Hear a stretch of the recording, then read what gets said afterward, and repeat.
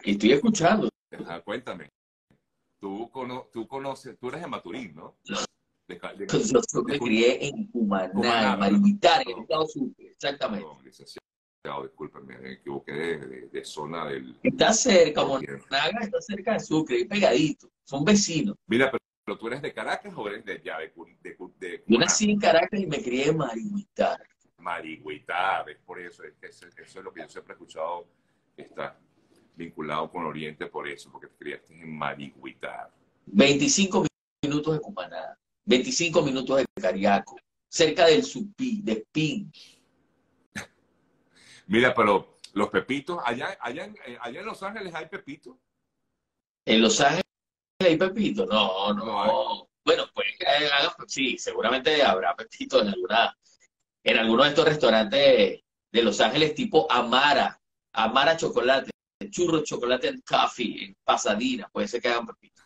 O en, no sé, eh, Nora por allá puede tener también pepitos, pero arepas pequeños, pero sí, los pepitos barquisimedanos son muy, pero muy famosos. Claro, son súper famosos, por eso están buscando ese récord Guinness. Bueno, pero hablemos de, Hollywood, de, las noticias del espectáculo, qué ha pasado esta semana, amigo Víctor, para comentar en el programa hoy.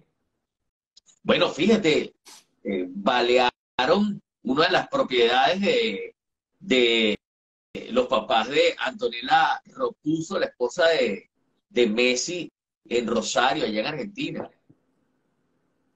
No se sabe exactamente qué tipo de banda de delincuentes hizo esto, pero sí dijeron que el, oye, no recuerdo el cargo de... El, el, intendente. El, intendente. intendente, que el intendente era narcotraficante y que no, no podía defender a, Messi, pero que lo estaban esperando, decía la nota. ¿Qué te parece eso? Eso, eso está bien extraño. Muy extraño, y, pero lo más triste de todo, y yo creo que es lo que a mí me, resalta, es la respuesta que dio el presidente argentino. Eh, porque lo que él dice, bueno, sí, habrá que hacer mucho, habrá mucho que hacer, háganlo y ya. O sea, no, no es que habrá mucho que hacer, háganlo y de una vez detecten de qué tipo de grupos eh, se trata, ¿no? Eh, ¿Quién está detrás de todo eso? Es justamente lo que uno quiere saber. Así es. Ayer, eh, eso es lo que uno quiere saber y, está bien, bien raro ese, ese ataque. Ayer estábamos en la, cambiando de tema, estábamos en la librería Barnes Noble. Cuando tú entras, la mesa principal tenía como unos 100 libros aproximadamente de Harry, del príncipe Harry. Spare, se está vendiendo como pan caliente, ahora que lo acaban de desalojar de su casita allá en los terrenos de los jardines del Palacio de Windsor. Sí, bueno, y precisamente por lo que ha comentado en el libro, ¿no? Claro, precisamente por todo lo que ha comentado en el libro y fuera del libro, desde la entrevista que le ofreció aquí en California a Oprah Winfrey, que fue donde comenzó todo este deslave de información acerca de la corona británica de parte de Meghan y William, donde, bueno, hablaron de racismo y hablaron de todo, todas las amenazas que, que sentía Meghan y cómo él se había convertido en una especie de salvador. Antes de esa entrevista a Oprah Winfrey, ellos decían como Shakira que ellos por favor le permitieran la privacidad para poder proteger a su familia y luego la privacidad la negociaron por 100 millones de dólares en Netflix y a partir de allí lo que vino fue una tormenta con nevada, como la que está cayendo en California. Desde hace 80 años no nevaba por aquí. Bueno, aquí, 80 años, 60 por ahí. O sea, mucho más de, de 60 años no, no cayó una nevada como las que han caído. Y eso fue lo que le cayó precisamente al Carlos III, el rey, con esas declaraciones de su hijo menor, el consentido de la familia que acaba de echar, y a quién le, le, le, permitirá vivir en, esa, en ese aposento al príncipe Andrew. ¿Te acuerdas? Ah, príncipe Andrew, claro, claro. Sí, también estaba en la lista de la semana los escándalos. Mira, eh, eh, Víctor, hablando de, de, de, de, esta nobleza eh, inglesa, em, bueno, he visto que muchos artistas no quieren participar en el evento de la coronación de Carlos III. Incluso tengo entendido, yo quisiera que tú me corroboraras si tienes esa información, de que Camila pidió que Elton John no estuviera presente porque al parecer como que no hay muy buena relación con Elton John. Elton John, recordamos, era muy amigo de la princesa Diana y de hecho cantó en su eh, funeral, ¿no? De, la princesa. No sé, no parece que nadie quiere cantar en esa, en esa coronación de los momentos más inolvidables de ese funeral es precisamente la canción que le dedicó Elton John a la princesa Diana. Yo pienso que ese fue el momento inolvidable Pero supuestamente él tiene una buena relación con Carlos y tiene una buena relación con... Mantuvo una buena relación con la reina hasta el final. Y la excusa de por qué Elton John no puede cantar es porque tiene un concierto el día siguiente y está viajando. Entonces ese día no puede, no puede presentarse porque que no llegaría a, la ciudad o al sitio donde, donde, donde tiene que, presentarse. Así que no sé hasta dónde eso sea cierto, lo de, lo de que Camila haya dicho que, por aquí le dicen señora envidiosa a Camila Parker. Eh, pero sí, Elton John dijo que no podía presentarse y también Harry Styles, que es en este momento la estrella británica, por excelencia, correcto. por excelencia, la más importante, la más joven, la más mediática y, viral. Y lo que se había visto es que ya, bueno, una lista larguísima de, eh, artistas británicos que han dicho que no se puede presentar y americanos y tal. Y sí, parece que dijo que sí Kylie Minogue. Mm. Aparece en la lista de los que sí están confirmándose para presentarse en mayo allí mismo en el, en el, en el Palacio de Windsor durante esos tres días en los que va, va a durar la, la celebración, ¿no? Sí. Bueno, ya, ya veremos entonces quién es el que se atreve a cantar allí. Igualmente, bueno, va a ser bien recibido. O sea, que si hace Kylie Minogue, bueno, ok, eh, eh, muy bien. Pero bueno, ya se espera entonces esta coronación del eh, rey Carlos III. Eh, vamos a ver, vamos a ver qué, qué, tal esa celebración. ¿Qué más nos tienes para esta semana, Víctor? Rosalena dice que Lionel Richie sí aceptó ah, dice Rosalena. No sé, no sé. Oye, por cierto, hablando de Lionel Richie, oye, vi una declaración, o mejor dicho, lo vi hace esta mañana cuando uno empieza a realizarlas. Oye, vale, este, eh, vi cómo se quebró eh, eh, ¿cómo se llama? Katy Perry, en una, no sé si lo has visto de pronto, porque es que lo vi esta mañana, no sé si, si eso ya está por allí rodando, pero lo vi en, en, una cuenta de Argentina, em, pero en ella pues se evidenciaba el dolor que sentía Katy Perry por los recientes tiroteos registrados en el país, ¿no? en Estados Unidos, y se quebró, pero de una forma impresionante. Déjame ver si lo consigo mientras tú me comentas algo ahí, eh, Víctor. Sí, yo no lo estaba yo no lo estaba viendo, pero eh, al parecer fue en, en, el programa en el que ella participa como juez, en American Idol, eh, donde estaba, estaba participando un niñito que ella le preguntó qué hacía Lo conseguí, lo conseguí, lo conseguí, lo voy a poner. y el niño un sobreviviente. kind of where people that I enjoy make it. Um, number two is, as I said before, I'm from Santa Fe, Texas. Um, in May 2018. Um, Aquí el chico está comentando que él canta, cantando porque vivió unos momentos difíciles cuando eh, fue eh, testigo de un tiroteo en el año 2018. Y, y aquí comenta él está comentando eso y bueno, por supuesto los tres están impactados, Katy Perry, Lionel Richie. Eight, students were killed, uh, two teachers were killed. Wow.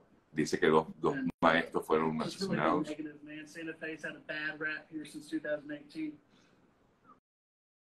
Duro, duro. Ahí creo que es el momento que se quiebra ella, ahí se quiebra. Porque en verdad que es para quebrarse, hermano, de verdad, muy fuerte. Y él, él le da ánimo. Dice que Estados Unidos les ha fallado el sistema. Sí. Le dice, ella le dice que tú deberías estar aquí cantando porque te gusta la música, no por lo que viviste. Y a mí, me, de verdad, bueno, muy, búsquenlo. Está en, eh, en la página de, en la cuenta de- del diario Clarín, Clarín.com está allí. Bueno. Sí, definitivamente, bueno, es el terror que vivimos los que tenemos niños pequeños en los colegios, niños más grandes, jóvenes más grandes como los que tienes tú en las ser. universidades. Sí, sí, sí. ¿Sabes? El terror que vivimos día a día, que no, que no, no sigan ocurriendo este tipo de, de mass shooting, de, de asesinatos, eh, de parte de, bueno, esta gente que toma la decisión de vengarse de la sociedad de esta forma. Entonces, es algo que ocurre además todos los días en Estados Unidos. Estamos entrando a- a- al mes de marzo y ya han ocurrido más de 300 este año, entonces, o 200, a- algo Sí. cerca de 300. Sí. Eso por un lado, y por el otro lado también está ahora los padres de familia como este Alex Mordo, que acaba de ser condenado por asesinar a su propia esposa y su propio hijo, a Maggie y a Paul. Oye, bueno, entre otros, ayer hubo una noticia también de otro venezolano que estaba ligado a la corrupción Sí, ya lo David- comenté al principio, sí. que asesinó a, a su propio hijo de tres años y se suicidó. Entonces, por un lado están eh, los casos como de lo que se salvó este joven, ¿verdad? De muchachos que entran armados a los, a los colegios, universidades a disparar, y por el otro, las personas que, que tienen problemas mentales o a- adicciones a los opioides y, y- y terminan asesinando a su familia y a quien esté cerca. Así que es el gran terror eh, ese que, que reflejó Katy Perry, el gran terror que todos Mira, vivimos día a día. Hablando, hablando de, de- porque como hablamos siempre del mundo del espectáculo, vi que en Netflix está un documental sobre la, el caso de Murdo, de Mur- esta familia. Eh, Mordo, mordo.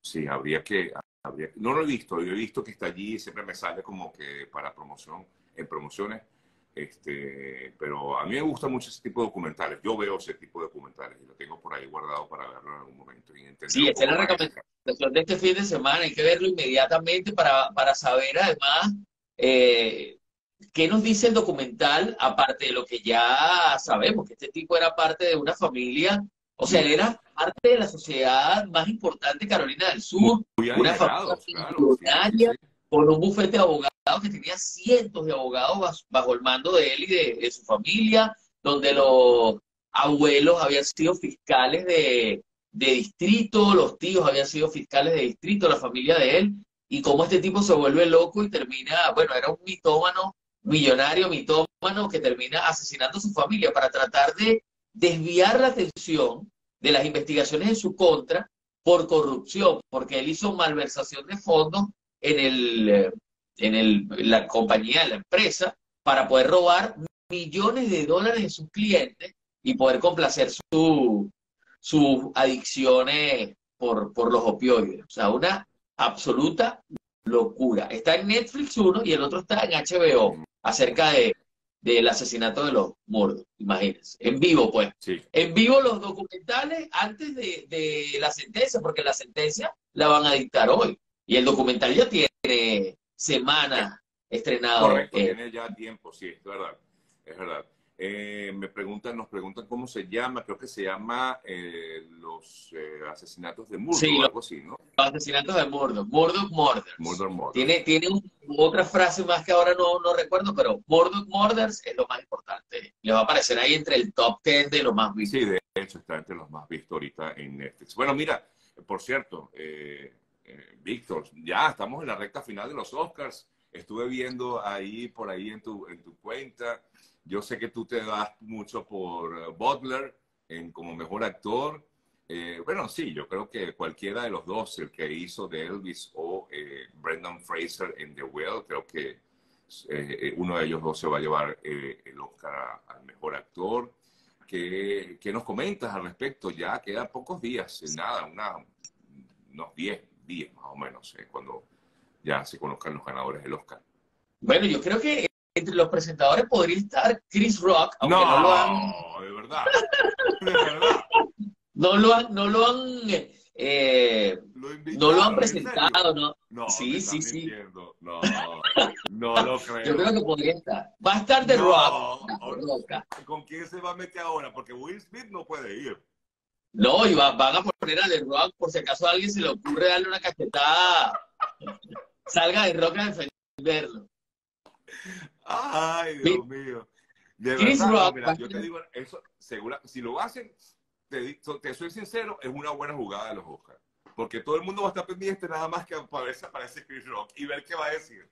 ¿Ah? Bueno, Chris Rock va a estrenar un documental hoy en Netflix, supuestamente en vivo, supuestamente en vivo, donde va a hablar acerca de la cachetada. Hoy, 4. Entonces eso va a estar pegadísimo hasta el 12 y el 12 segurísimo, creo yo, va a ser uno de los invitados de la noche que no han sido confirmados y ahí va a ser algún chiste acerca de la cachetada. Oh my God, ¿tú crees realmente que ese hombre? No, yo no creo que haya sido invitado, Víctor. ¿Tú estás seguro? No, Segurísimo. Hay- o Absolutamente. rumor, son rumores, son Son- rumores. Rumores, son rumores, como diría el conde del Watch, Benjamin Rosell. Oh my God, ca- ca- candidato, mira, que no, no puedo creerlo. Bueno, ya veremos, de verdad. Este, yo creo que, insisto, si lo hacen es una muy buena eh, estrategia para que la gente vea el Oscar, porque es que la gente ya no los ve, ya no ven estos tipos de premios. Estaba viendo que la, más reciente edición de la entrega de los SAG Awards, eh, que lo hicieron solo por streaming, eh, no lo hicieron en televisión abierta, porque ya no lo quieren ver y tuvo más vistas, por supuesto, a través de streaming, es lógico, ¿no? Bueno, no, evidente, evidente. Y el Oscar va a tener, eh, bueno, no sé cómo van a manejar acerca- eh, con respecto al streaming este año. Ya lo venían haciendo el Oscar en, en streaming, con comentarios, con, un- con un equipo en alfombra roja especial. Eh, seguramente, por supuesto, este año también lo van a hacer. Y bueno, con toda la expectativa del año pasado, va a ser interesante el montón de memes, información. Nosotros vamos a estar haciendo algo especial esa noche, así que estén pendientes de lo que vamos a estar publicando con respecto a los ganadores. Eso va a estar interesante. No se pierdan ahí. ¿Vas a hacer una transmisión en vivo? Sería chévere, No. Víctor. Vamos a hacer una transmisión en vivo como tal, pero vamos a estar publicando, publicando toda la noche, desde la alfombra roja hasta que terminen los premios. Así que los esperamos por ahí para que, para que interactuemos. Claro, claro, claro. Oye, qué bien, qué bien. Vamos a estar pendientes, Víctor. A través de tu cuenta, por supuesto.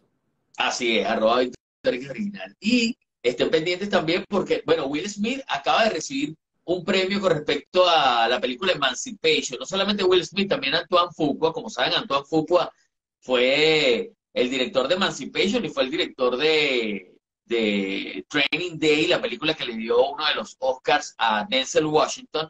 Antoine Fuqua es un gran director y, bueno, subió, subió con Will Smith al estrado a buscar ese premio, que sería el primer premio y eh, declaración de Will Smith después de la que se está eh, eh, hace un año, la entrega del Oscar. Y Will bastante, bueno, bastante conmovido y Will siempre sintió que le había hecho daño a Antoine Fuqua y a todo el equipo que trabajó en Emancipation con su actitud y que eso le, le, o sea, truncó de alguna manera el futuro en premios de la película por, porque estaba él allí como protagonista. Entonces Claro. él siempre, él se siente bastante culpable por eso. Estuvo allí recibiendo el premio que le dio la Asociación de Críticos Afroamericanos a esta película que, como saben, trata acerca de Peter, un esclavo que sueña con, con la libertad. Y Will dice que es difícil lograr que una mente moderna se traslade a esa época y lo que sentía la gente en ese momento en el que, bueno, él mismo fue escupido, contaba, en, en- por uno de los actores blancos con los que estaba interactuando. El tipo, eh, eh, el tipo improvisó en medio de una escena y lo escupió. Y, bueno, eso era parte de lo que, de lo que ocurría hace, hace, hace nada, hace poco, y, y hace muy poco, más cerca todavía, bueno, por ser afroamericano en los Estados Unidos te ahorcaban y te quemaban la casa, cuando el Ku Klux Klan. Entonces, la verdad es que ha sido bien fuerte lo que han vivido los afroamericanos. Esa aso- asociación de críticos afroamericanos le da este premio a Emancipation por el trabajo, por resaltar la memoria de, de lo que han vivido los esclavos afroamericanos en el mundo. Sí, así es, así es. Bueno, este, interesante. Yo no vi esa película, Emancipation, no la, no la vi. Sé que estaba por allí, eh, pero, pero no. Está en no- Apple, Apple Mira, eh, pero a raíz de lo que fue eh, esa entrega de los premios Saga Awards, creo que la cosa se le complica, o mejor dicho, parece, como yo te lo dije hace unos, una semana, creo que la película que va a ganar el Oscar, que no me parece, pero bueno, eso es decisión de los, de los, de los jurados y los quienes, quienes, quienes eh, deciden. La película Everything Everywhere All at Once parece ser que pudiera ser la ganadora. No digo que va a ser, pero pudiera ser, por lo menos los Saga Awards a razón. Claro, porque recuerda esto, tanto en los Critics Choice Awards como en los, sobre todo en los SAG Awards, ¿quiénes se están premiando? Se están premiando los actores solamente. Entonces, esa película, bueno, esa película es bien simpática, esa película eh, es súper interesante y mu- muestra eh, a estos actores que además tenían tanta experiencia en el mundo de, de karate, de las artes marciales, ¿sabes? Resaltando todo eso y haciéndola haciéndolos vivir, pasar entre mundos. Y es una película interesante, premiada por los actores, pero en la entrega del Oscar no solamente votan los actores, Claro. entonces también entre, lo, entre el jurado, por decirlo de alguna forma, están diseñadores de producción, maquilladores, eh, productores, directores. No creo que se vaya a decantar la gente por esa película para nada en el Oscar, No, porque no creo, porque no son actores premiando actores, van a ser, hay, hay bastante votos Claro. de directores, Pero- productores, pero yo siento, ojo, percibo, yo no soy nada de, de experto en el área, me gusta el cine, lo veo, lo disfruto como cualquier espectador, pero percibo que es la, la película que va a ganar el Oscar, percibo, de pronto me ¿Tú crees? ¿ah? Señores, apostemos, apostemos. No, yo no sé. Yo- a mí me encantaría que fuera o The, The Banshees of Inis- Inisherin, que me encantó, los, eh, ¿cómo es que se llaman? Los misterios de Los la isla, ¿no? fantasmas de la Los isla. fantasmas de la isla en español, o de Fe- Los Fableman, que me encantó como película, pero bueno, yo dudo que sea los de Fableman la que gana la- eh, el Oscar. Yo me debatiría o entre The Banshees of Inisherin o la de Sin Novedad en el Frente, la alemana. Creo que una de esas dos pudiera ganar, pero viendo lo que está pasando con esta entrega de premios, creo que esta otra película, la de todo, en todos lados, en todas partes, aquí a, a la misma hora, no sé cómo que se llama en, en español, everything, todo, en todos lados, y, un- Al a mismo vez, tiempo. y uno la ve. Sí. Así se llama en español. Sí. Eh, puede ser, pero yo creo que la ganadora va a ser Sin Novedad en el Frente. También podría ganar, eh, también podría ganar, ah, sí, Los Fantasmas de la Isla, es una de mis favoritas, pero también está Tar, que es una película fuerte. eh, Pero no la veo como ganadora del Oscar, ¿no? De- como mejor película, no sé. está Elvis también ahí, recuerda, participando, podría dar el premio a Elvis, pero no, yo creo que Sería Sin un Novedad en el batacazo Frente. si gana Elvis. ¿Cómo? Sería un batacazo. un Sería batacazo. un batacazo si gana Elvis. Sí.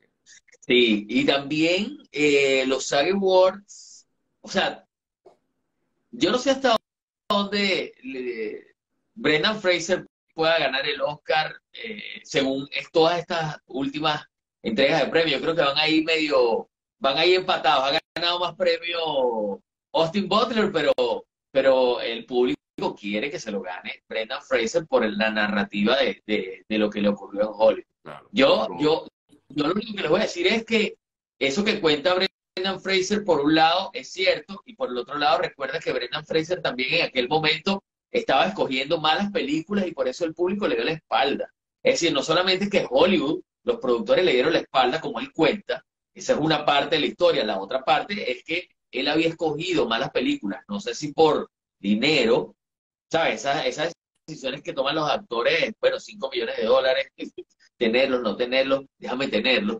Y muchas de esas películas no tuvieron el beneficio de, de o sea, el apoyo del público De y por eso, de la taquilla, y por eso él también salió de, salió de bajo los reflectores y él había tomado la decisión de hacer como Tom Cruise sus propios stunts sus propias escenas de acción y sufrió muchísimos accidentes, una operación de columna, eh, tenía un dolor crónico, no sabemos si consumía opioides por el dolor crónico, eso es lo que recomiendan para dolores crónicos en Estados Unidos, entonces no sabemos qué, otra cosa, él no ha dicho que también sufrió, ¿sabes? Que pudo haber sido una adicción a las drogas fuertes y esto también lo sacó de, de la carrera, entonces bueno o malo, ha hecho un gran papel en The Whale, podría llevarse el Oscar de la Academia. Kate Blanchett se lo va a llevar definitivamente, aunque a mí me encantaría, mi corazón está Ana de Armas.